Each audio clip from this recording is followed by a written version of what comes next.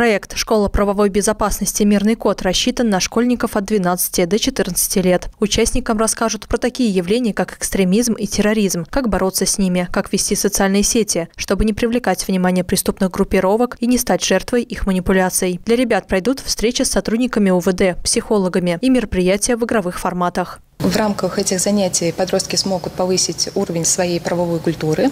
Мы привлекаем в проект профессиональных психологов, а, руководителей военно-патриотических клубов и правоохранительные органы.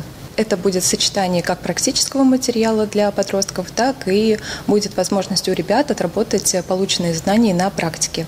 То есть э, будут ситуативные игры, какие-то знания они будут получать в рамках квиза, Заключительным мероприятием проекта будет семинар со специалистами Центра профилактики Нижнего Новгорода. Они проведут интенсив для педагогов Сарова. Средства на реализацию проекта удалось получить в рамках областного конкурса «Драйвера роста». Молодежный центр вошел в число победителей еще с одним проектом – Unified турниры «Валан возможностей». Бадминтон активно развивается в учреждении. В него играют в том числе и спортсмены с нарушением слуха. Для них есть специальная программа «Бадминтон. Спорт глухих». Новый проект направлен на поддержку молодежи, которая занимается этим видом спорта.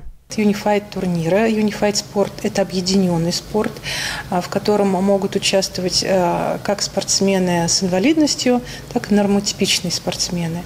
И Unified турниры «Валан возможности» – это а, проект, опять же, для детей с нарушением слуха.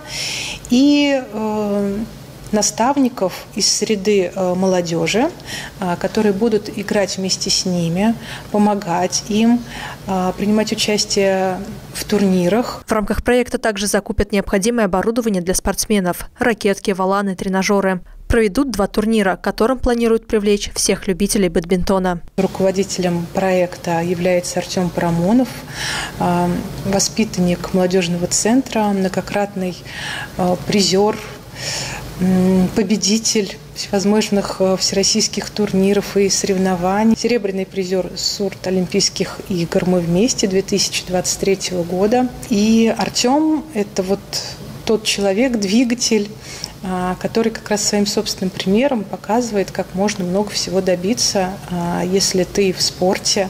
Также в рамках проекта в Саров пригласят олимпийского призера по бадминтону Валерию Сорокину. Школа правовой безопасности «Мирный код» и юнифайт турнира «Валан возможностей» пройдут в молодежном центре с сентября по март. Светлана Ярунова, Руслан Лапшин, Кирилл Новикевич. Служба новостей Саров 24.